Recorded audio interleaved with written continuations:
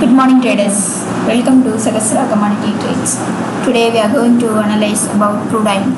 Crude oil yesterday high 3177, low 3132 and close 3139. Those who want to buy, buy above 3180.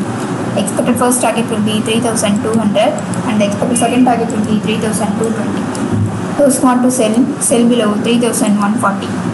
Expected first target will be 3120 and the expected second target will be 3100. Next we will see the resistance and support level of crude oil. Resistance level is 3212 and support level is 3135. Thank you.